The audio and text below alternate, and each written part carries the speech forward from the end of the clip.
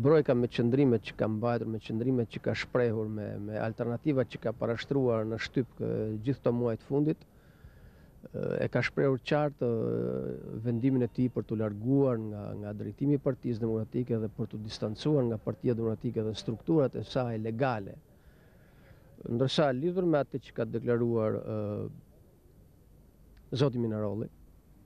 Unë mendoj që zoti Minarolli është shprehur në emër të Partisë Demokratike për Tiranën, për degën e Tiranës, ku Brojka bën jetë në parti, siç ka deklaruar deri tashti që vazhdon të mbetet në parti, sepse ai e ka deklaruar vetë vetë largimin prej strukturave drejtuese të Partisë Demokratike.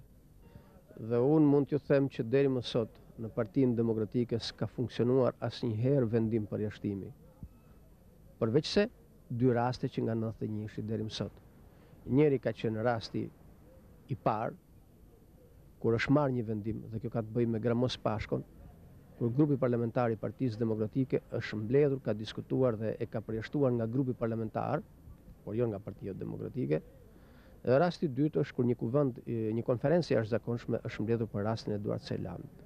Në të gjitha rastet e tjera, të gjithë ata që fillimisht iu bashkuan Partisë Demokratike, regjistruan teserat në Partia Demokratike, janë të vetëlarguar nga Partia Demokratike, sepse s'ka asnjë akt përjashtimi për ta.